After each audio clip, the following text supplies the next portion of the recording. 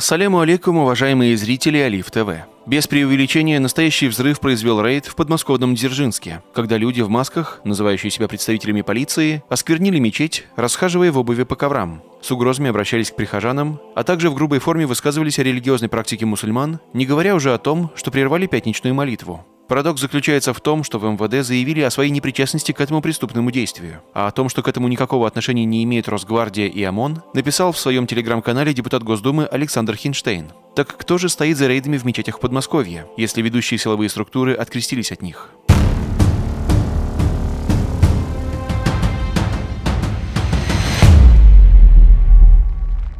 Ну, давайте сразу оговоримся, что, э, в принципе, понятно, кто формально проводил этот рейд на мечеть на, Мус, на Мусальную, молельный дом в Дзержинском, несмотря на то, что управление внутренних дел по Московской области, насколько я помню, вот из прессы, оно открестилось, так будем говорить, от э, этих событий.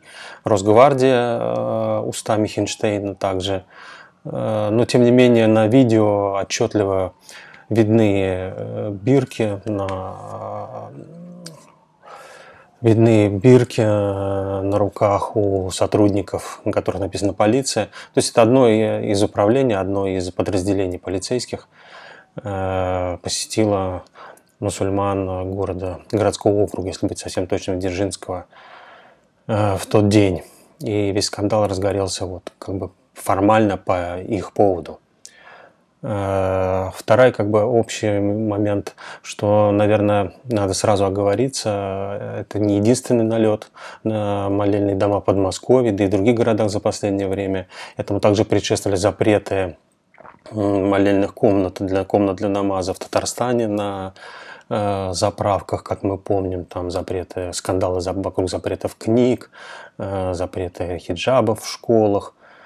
Это я говорю как бы за период после начала специальной военной операции в Украине.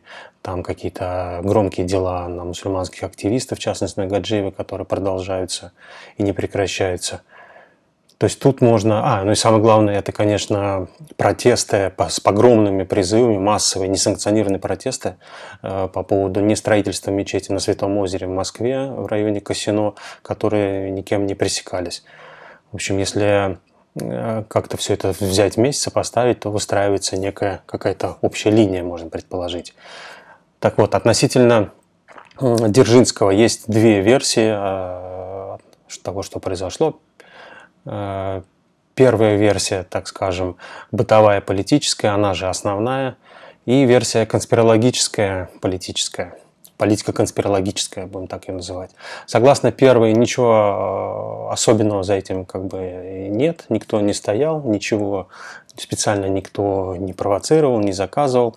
Это обычная полицейская, силовая, такая популистская методика работы с мусульманским фактором, ответ как бы на укрепление мусульманского фактора в самом широком смысле, куда в этот мусульманский фактор вместе в одну кучу скидывается проблемы как бы не строительства мечети, вместо них как бы вот предлагается э, открывать временные молельни, где главное слово это временные, то есть которые в скором времени закрываются после того, как они открываются часто.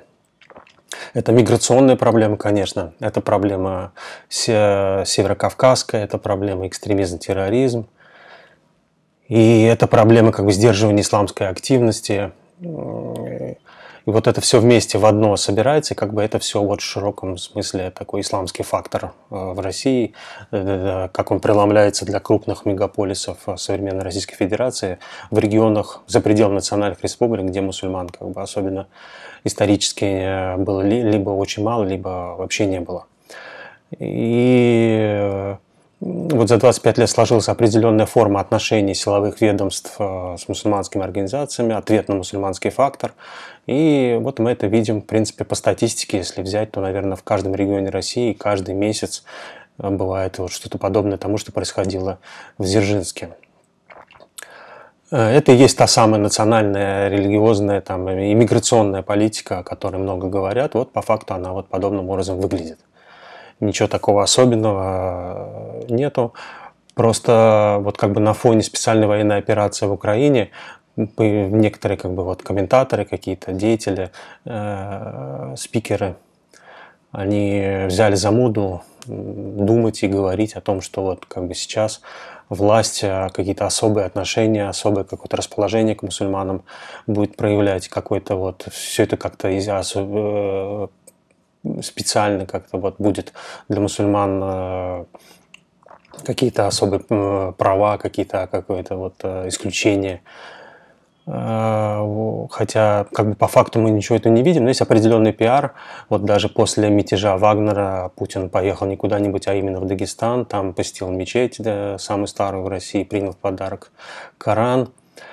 И действительно странно выглядит, что вот на фоне этого, когда мусульман активно зазывают на фронт, и многие мусульмане откликаются прямо говорить э, на это – вот происходит такого рода вещи. Это действительно странно, и это многих удивляет. Но для силовиков, для тех, кто проводит эти рейды, ничего странного в этом нету.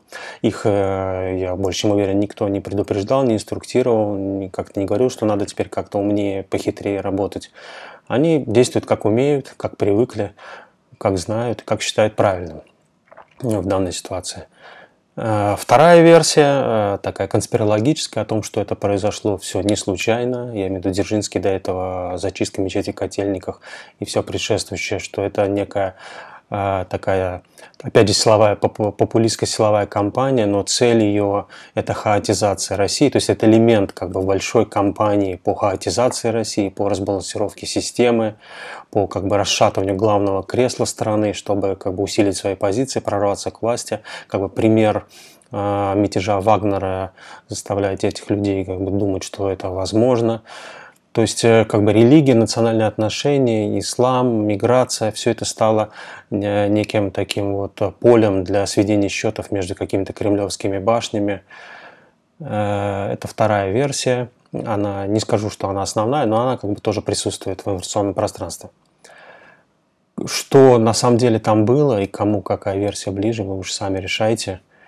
Я вот как бы сложил основные точки зрения. А выводы делайте сами, как говорится. Поведение правонарушительных органов в подмосковном Дзержинске вызвало бурную реакцию в мусульманском сегменте. Вы ноги моете в раковине, которая предназначена для умывания лица. Мы попросили нашего эксперта составить психологический портрет правонарушителей в мечети и дать оценку поведению мусульман.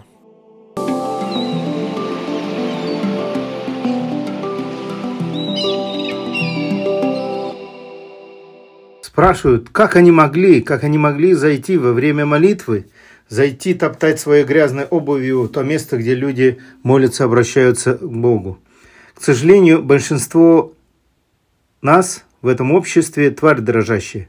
Люди, которые выросли в либеральной системе, когда нет никаких ценностей, когда есть только решение своих проблем, когда человек один, одинок, оторван от всего социума и общества, и нет у него никаких ценностей, кроме удовлетворения повседневных своих потребностей. Поэтому винить их сложно. Они просто люди, которые выполняют приказ и больше другого не могут.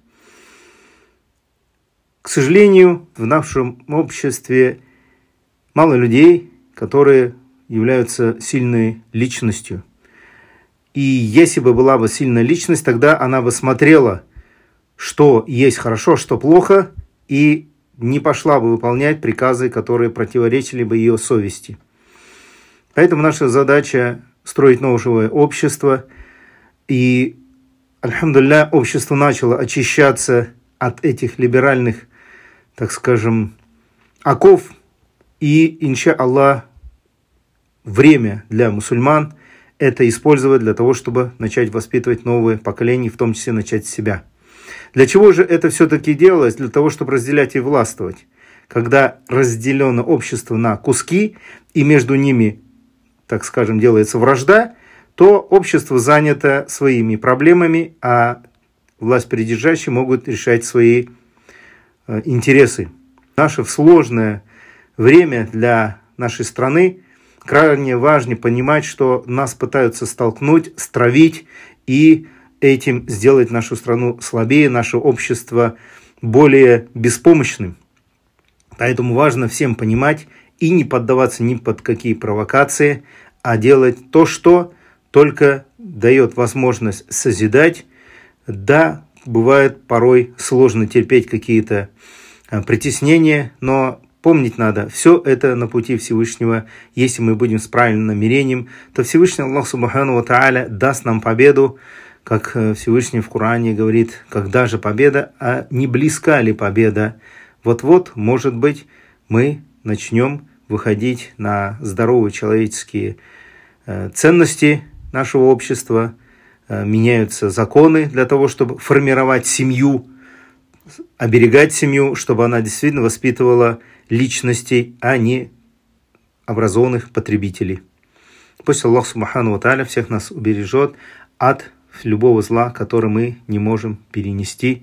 И если придет какое-то испытание, пусть Всевышний нам даст мудрость это испытание перенести так, чтобы мы были в довольстве Всевышнего Аллаха Субхану Тааля. На минувшей неделе мы в очередной раз получили новость из Саудовской Аравии об аресте известного проповедника шейха Бадр Аль-Мишари. По одной из версий, он был взят под стражу из-за критики управления развлечений королевства, которое под руководством наследного принца Мухаммада бин Салмана стало проводить концерты и фестивали смешанной музыки, приглашать в страну западных артистов. Кто-то может обосновать действия наследного принца пресловутой необходимостью, но насколько эта так называемая необходимость допустима в исламе? Разрешается ли в исламе ради каких-то целей вносить какие-либо нововведения? Допускается ли прибегать к греховному, порицаемому, обосновывая это мнимой необходимостью?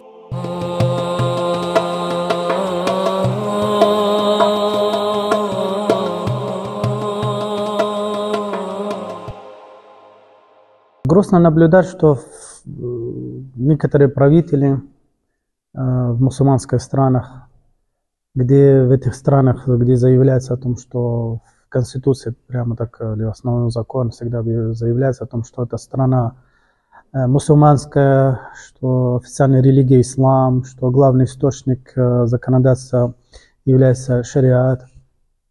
Тем не менее, мы видим, что э, принимает законы, э, прямо противоречащие не только законе шариата, но явно даже акида, наше вероубеждение, наше несовместимо с нашим вероубеждением.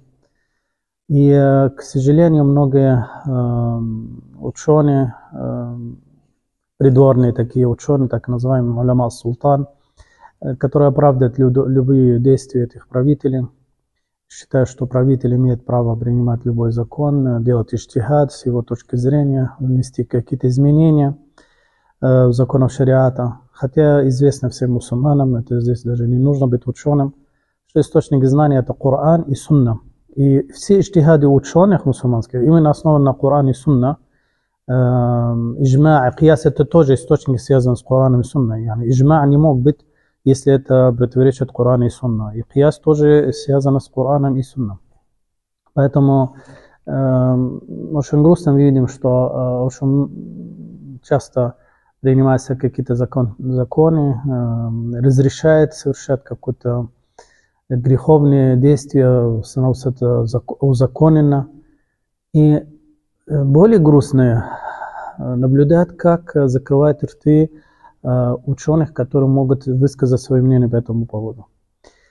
Если правитель захватил власть, и народ не может его оттуда как бы убрать, или, или они, может быть, и согласны с его властью, Хорошо, но почему запрещает ученым высказать свое мнение? Почему э, эти ученые э, лишаются жизни иногда, э, свободы, только из-за того, что они просто высказали свое мнение? Их же оружие это слово, они же не совершают какие-то там преступные деяния, не призывают к перевороту, не призывают к каким-то насильственным действиям. Они все занимаются тем, что они обязаны заниматься, призывать людей к э, делать одобряемое, удержать их, их от порицаемого.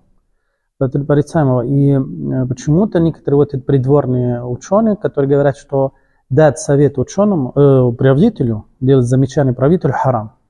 Как это? Это разве похоже на исламские убеждения? Разве в исламе такое бывает, что мы, мы не имеем права кому-то выше э, насиха, он не, мы не можем ему дать совет? По-моему, и Умар Хаттаб люди ему критиковали, и Абу Бакр Садык, и Усман, и все критиковали при жизни, принимали критики. Это были праведные, самые лучшие правители. Э, даже в немусульманских странах есть понятие демократии, где есть оппозиция, есть критика, и это считается нормально. И обидно, что в, в странах ислама любой ученый, уважаемый, э, который страна должна гордиться этим, э, защищать его, там, ученый, это же это редкость, когда бывает человек, знающий, это наоборот, мы должны его защищать, поддержать. А мы вместо этого, если он что-то высказал свое мнение, что вот, знаете, такие законы или такие действия, которые правительство занимается, это не соответствует закону шариата, его могут э, бросать в тюрьму без суда. Часто бывает так. Вот, к сожалению, в мусульманских странах, в тюрьмах тысячи и тысячи мусульманских ученых, э, активистов, которые всего лишь э, словом пытались сделать страну свою лучше, пытались призывать своего народа, свое правительство соблюдать законы ислама. Ведь они мусульмане и заявляют, что они мусульмане. Субханаллах, конечно, конечно, на вопрос нововведения это можно принимать э, правителю? Нет, конечно, это харам. Нововведение э, нету оправдания. Ввести что-то новое в религии, изменить основу религии, нету оправдания. Мухаммад, саллаллаху алейhi сказал, «Ман фи амрина хада», кто любой, кто меняет что-то в нашем деле, религии, фагурад, то это отвергается. И он сказал, что это является заблуждением. Каждое заблуждение ведет в ад. Поэтому я прошу Аллах Субхану Тааля разум для правителей в мусульманских странах и народе тоже мусульманские, чтобы они тоже понимали, что этого недопустимо. И пытаться угодить, к сожалению, часто это делают, чтобы угодить государство, которое на Западе или на Востоке, это тоже не принесет нам никакой пользу. Мне кажется, если бы мы будем уважать свои, свою религию, свои традиции, наоборот, и на Западе, и на Востоке будет уважать и э, будет приниматься такими, как э, есть. А так пытаться угодить, что мы, смотрите, мы тоже живем, мы тоже принимаем ваши ценности. Э, мы и не добьемся удовольствия Аллаха, и не добьемся удовольствия этих государств. Дорогие зрители Алиф ТВ, если у вас есть что добавить к анализу наших экспертов, вы можете поделиться этим в комментариях. А чтобы глубже понять происходящее вокруг вас события, подпишитесь на нас и не забудьте включить уведомления. Вы также можете поддержать нас, став спонсорами канала, отправив от 100 и выше рублей. И самое главное, делать дуа за благополучие нашего с вами канала. Мира вам и благословения Всевышнего.